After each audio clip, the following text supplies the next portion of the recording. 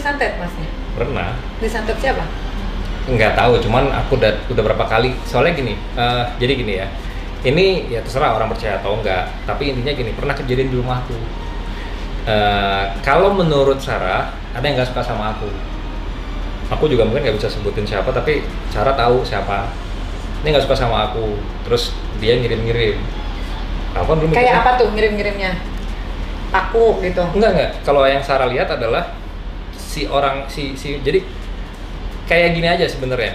Sistem yang paling gampang, yang paling gampang dimengerti sama manusia adalah aku mau ngirim sesuatu buat kamu, aku pakai gosen, Hmm.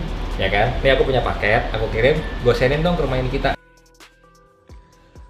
Halo Sobat Fakta, Bang Pin ketemu lagi dengan Bang Pin yang terus mengabarkan fakta viral seputar selebritas tanah air yang terus saja bikin berita dan dengan berita mereka tetap eksis di ranah media. Tak disangka tak dinyana, kasus pesulap merah dengan Gus Samsudin menjadi sorotan publik, sorotan media dan sorotan media sosial. Banyak sekali orang yang tertarik dengan Gus Samsudin dan pesulap merah.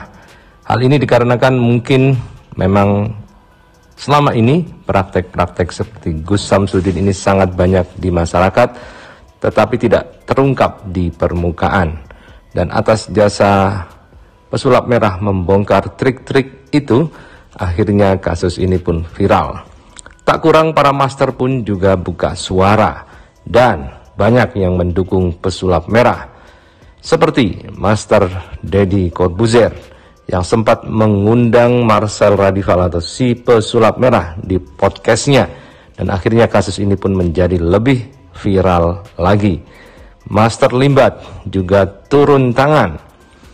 Master yang juga muncul dari ajang pencarian bakat pesulap itu pun nampaknya juga berada di barisan Marcel Radival si pesulap merah.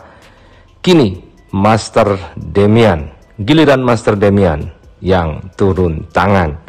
Nah, bagaimanakah Master Demian menanggapi hal ini? Karena kita tahu Demian juga suka membongkar trik-trik sulap para dukun itu. Nampaknya kini diteruskan oleh juniornya si Marcel Radival. Nah, bagaimana ceritanya? Beritanya kita simak saja kupas tipis-tipis fakta Bang Pin kali ini. Like, subscribe, and komennya ditunggu dan jangan lupa selalu ada doa dalam setiap lentikan jarimu.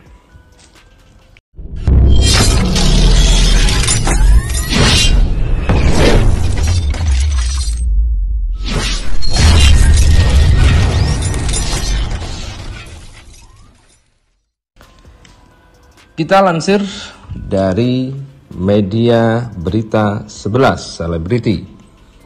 Bongkar trik-trik dukun, Demian Aditya ingatkan pesulap merah. Hati-hati disantet, itu beneran ada. Belakangan kehadiran pesulap merah atau Marcel Radival ramai diperbincangkan publik. Hal itu dikarenakan aksi sang pesulap merah yang kerap membongkar trik-trik dukun di Indonesia.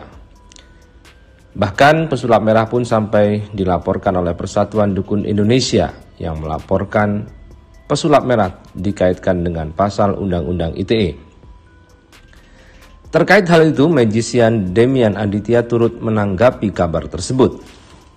Rupanya, saat Demian masih menjadi pesulap, suami Sarah Wijayanto itu memiliki kesamaan dengan pesulap merah, yakni sering membongkar trik dukun. Dulu, aku juga sama, melawan banget. Apalagi dunia kami tuh sebetulnya hampir mirip.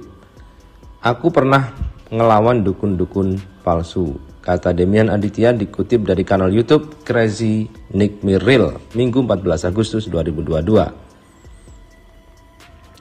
Demian percaya dengan adanya dukun, bahkan dirinya membenarkan jika memang beberapa di antara mereka melakukan trik dukun dengan cara yang lebay. Kalau ditanya soal perdukunan gini, aku percaya kalau ada di depan mata. Kenapa? Karena aku tahu, nggak semua, tapi ada beberapa dukun yang pakai alat sulap untuk praktiknya, ujar Demian.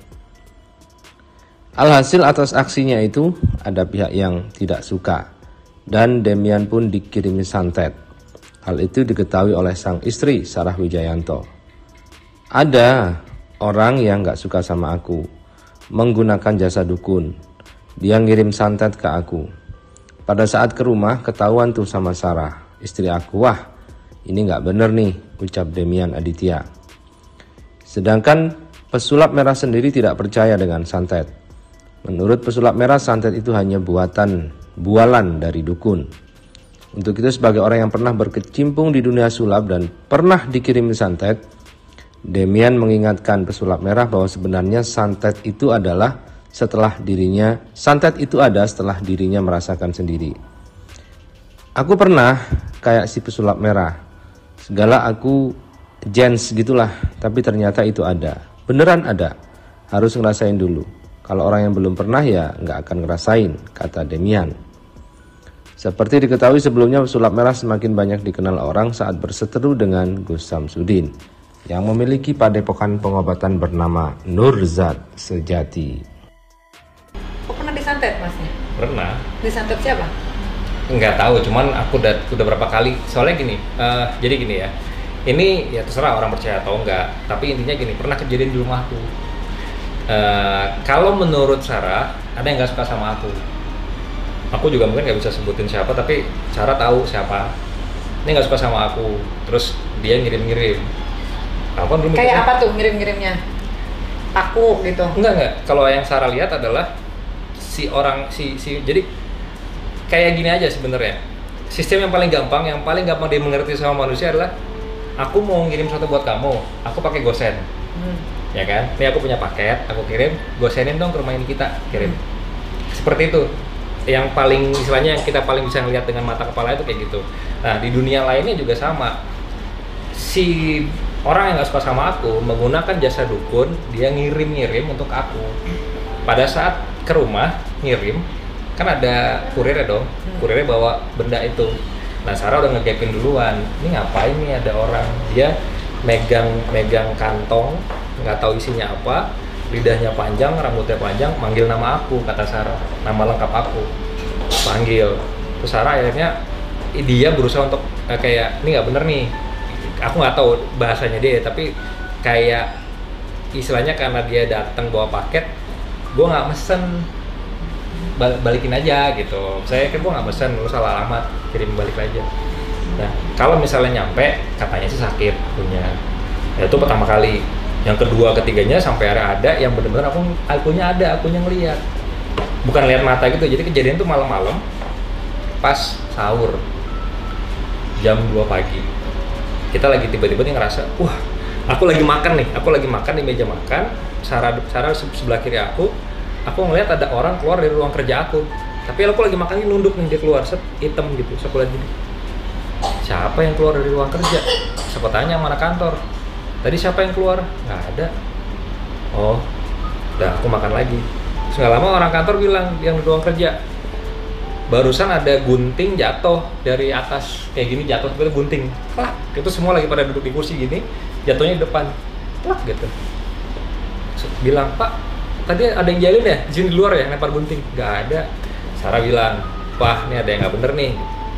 Udah terus dia eh, istilahnya coba untuk ngeliat ternyata bener ada yang mau ngirim buat aku. Oh. Nah kejadiannya yang benar-benar visual tiba-tiba kita lagi kumpul semua kita gini yaudah yuk kita ini yuk jadiin konten jadiin konten. Maksudnya kita rekam nih kejadian ini biar biar biar orang bisa tahu bener atau enggak atau Kalau kita santet itu dokumentasi. Ada. ya sebenarnya enggak bukan gini kejadian ini direkam lah biar terdokumentasikan gitu. Lagi ngerekam-rekam lagi pegang kamera gini ini ngumpul semua gini lagi gini nih bikin lingkaran. Terus tiba-tiba ada rubik jatuh jatuh tengah-tengah. Flak di tengah-tengah kayak kita nih Dah gitu segitu. Nah, lu yang lempar ya? Enggak, lu yang main. Enggak, semuanya nggak ada yang main. Nggak ada yang main Rubik. Rubiknya ada di ruang kerja kantor. Ya itu aku ngalamin sendiri, aku lihat dengan mata kepala aku Kan, kan kalau menurut si pesulap merah santet tuh nggak ada Hmm. karena bikinan segala macam gitu. Ya, makanya aku bilang, kan sama kayak gini. Kalau Niki bisa ngerasain manis nggak? Bisa. Ketika makan satu manis? Bisa dong. Coba kamu kasih tahu aku, ceritain ke aku gimana rasa manis tuh kayak apa? Rasa manis. Ya. Manis. Iya kayak apa? Aku tahu kalau manis itu apa. Kayak Rasanya gimana? enak. gimana caranya supaya aku bisa ngerasain kamu ceritanya gimana Iya harus dicobain Nah, dulu, exactly. Bener dimakan nggak? dulu, Iya. baru bisa rasakan. sama santet itu juga sama Iya harus coba dulu, harus rasakan. kalau misalnya dari nalar yang belum pernah Hmm, ya nggak akan bisa ngerasain Iya sih ya. Kalau makan, kamu sampai bego ny- ngasih tahu ke aku, aku nggak akan nangkep rasa manis kayak apa yang kamu bayangin. Okay. Aku harus ngerasain kuenya. Oh, Baru okay. aku yang, oh iya bener yang kamu rasain tuh, oh ini yang aku maksud. Nah, kenapa aku pernah jadi kayak pesulap merah kan aku bilang. Eh, tapi kalau pelet ada nggak pelet?